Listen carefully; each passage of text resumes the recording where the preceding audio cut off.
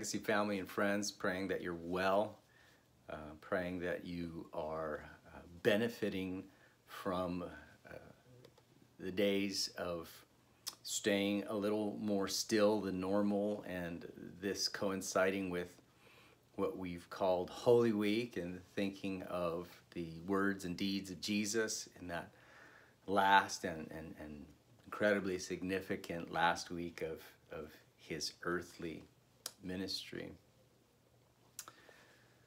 We are celebrating today, the Friday of that week, a Friday that's come to be known as Good. And if you feel a little bit conflicted uh, in calling Good Friday Good Friday, I'm, I'm with you. Because if you're acquainted with the story, you know that there is a great deal of, of pain, uh, a great deal of ugliness. Uh, we, we focus primarily on the love and the grace that was displayed there, but in the story, there's an awful lot of hate toward Jesus and especially since it's toward Jesus, one so dear, so pure. We, we talk about good. None, none has ever been so completely good. One who was nothing but good and suffered so much on that Friday. And so to call it Good Friday, we feel a little conflicted perhaps, but knowing the significance of all that happened, knowing all the fruit that was born from that Friday, we know that the good outweighs many times over all of the evil that is depicted in the gospel accounts of that Friday.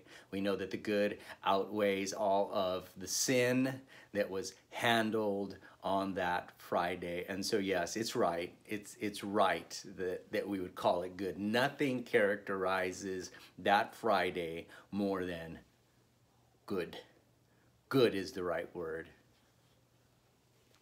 But we know that there was that pain and so if in your celebration of Good Friday there are tears to think of the darling of heaven, Christ, sinless, glorious Jesus suffering at the hands of sinners, if, if tears roll down your face, that's, that's all right. Just so long as the goodness of it all does not escape you. We are living in curious days, and I don't need to tell you that.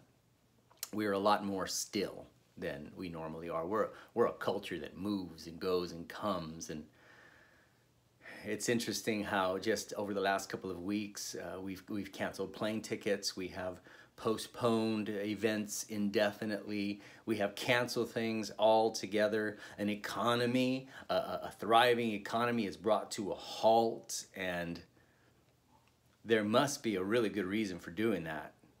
We don't. We of all people, we don't do that just on a whim or as part of a fad. No, there had to be a a driving motivation behind that.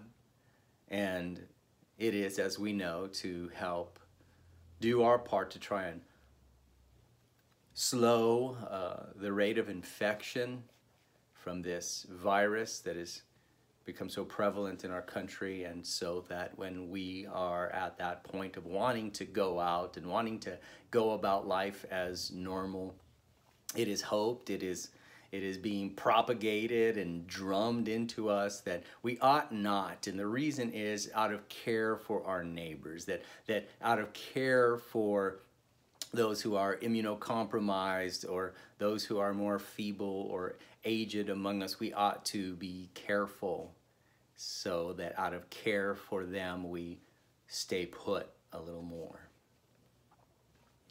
And in light of the days that we're living in and, and this very special week, I couldn't help but think how that is a very dim reflection of the love of Christ, particularly on Good Friday. Uh, our, our motives for staying put are, are mixed for sure. It's, it's not so altruistic, not so pure that we, we all stay put and we're all being careful to limit our interactions just because we love our neighbors. Our, our motives, they fluctuate and, and they change, but, but nonetheless, it, it reminds us of one who, for an indescribable care for others, stayed put. The story says that by this point on Friday, Jesus has spent the night being tried in front of Annas and Caiaphas and Pilate and Herod and scourged and punched and spat upon and hit with reeds and mocked publicly and his brow has already been pierced by a crown of thorns and at this point he's he's already been nailed up to a tree and he's been nailed there and put on display between two thieves and a bloodthirsty crowd who came in particular to see him die. Crucifixions were not a strange sight. Crucifixions took, took place all the time in that area under, under Roman rule, but there was a particular crowd came out this day. It wasn't for the thieves. Thieves were seen rotting on posts all along the road outside of Jerusalem, but everyone came to see this Jesus die, and they didn't, they didn't come as indifferent spectators. They came with hearts full of things that leaked out of their mouths. Scripture says in Mark 15, and with him they crucified two robbers, one on his right and one on his left. And those who passed by derided him, wagging their heads and saying, Aha! You who would destroy the temple and rebuild it in three days, save yourself and come down from the cross. So also the chief priests and the scribes mocked him to one another, saying, He saved others, he cannot save himself. Let the Christ, the King of Israel, come down now from the cross, that we may see and believe. Those who were crucified with him also reviled him. So, coming from the crowd that stood all around the cross, and hanging next to him on his right and his left are voices that are telling him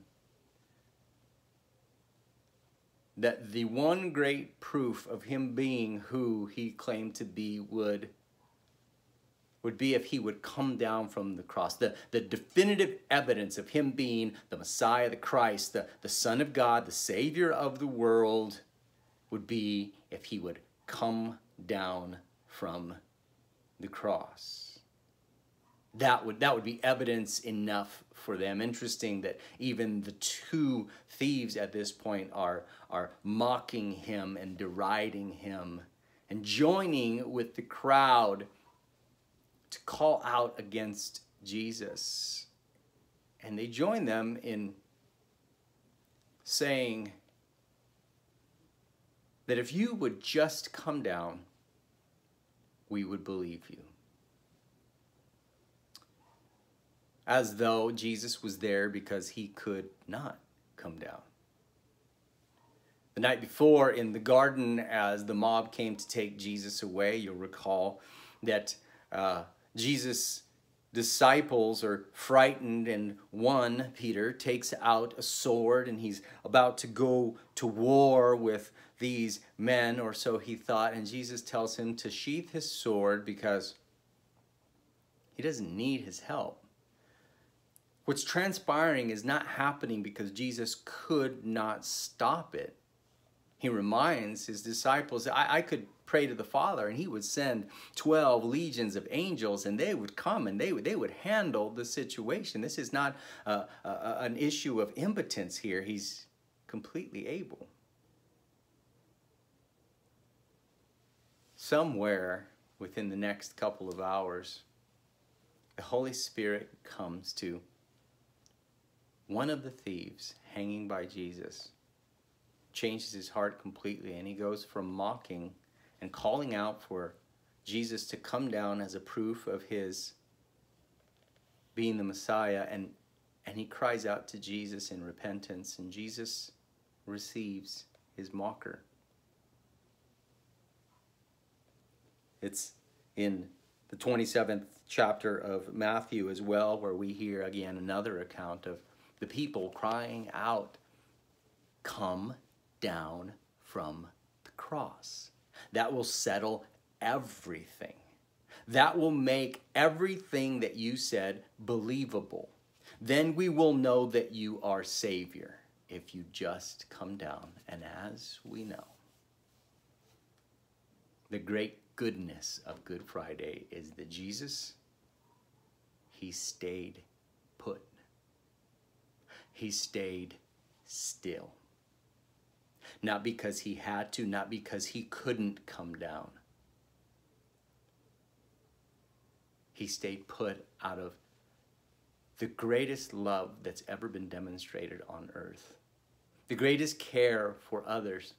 Not so that they wouldn't be infected, but because he knew they already were infected, not by some coronavirus, but by that, that soul cancer that is sin. And so, what they called out for as the one great proof of him being Messiah, namely his coming down for the cross, from the cross, he knew that no, the greatest proof of him being that Messiah and caring for them and helping and saving them, the greatest proof of him being that Messiah was not coming down, but simply staying put. He stayed there. And you and I celebrate Good Friday we, we itch for Sunday morning to celebrate the resurrection morning. We look forward to another resurrection, the kingdom come in its full, full realization. We, we look forward to all of these things because Jesus on Friday, he stayed put. And so as we stay put, let's think of his stillness on that day for you and for me and savor the goodness of Good Friday. Love you, praying with you and for you. Soon we'll get together and we'll take a cup and we'll take some bread and we'll, we'll celebrate this further. Happy Good Friday.